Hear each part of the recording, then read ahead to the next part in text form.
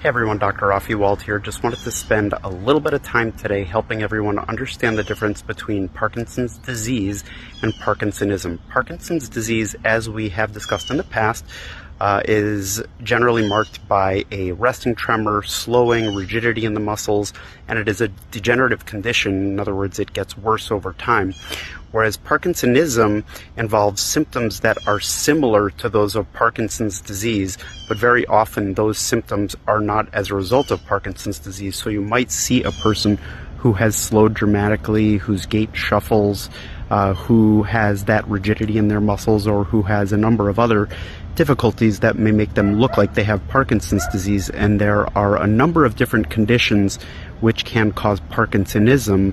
Among those are cerebrovascular disease, which is when a person has one or more strokes.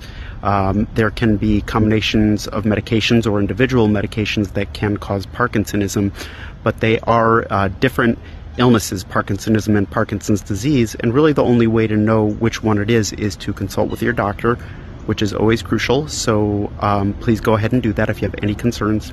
I hope this information helps you. I will talk to you all soon. Bye bye.